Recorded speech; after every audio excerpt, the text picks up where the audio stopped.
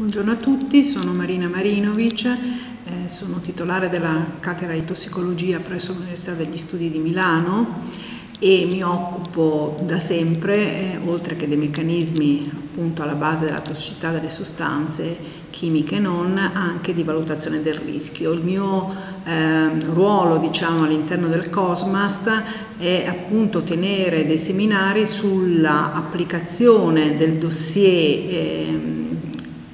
che accompagna ogni prodotto cosmetico e in particolare sulle eh, regole le procedure per la valutazione della sicurezza eh, del prodotto cosmetico stesso. Eh, questo, queste procedure appunto si basano non solo sulla tossicologia come disciplina ma anche ovviamente eh, con una integrazione di quelle che sono eh, le norme a livello europeo di tipo regolatorio.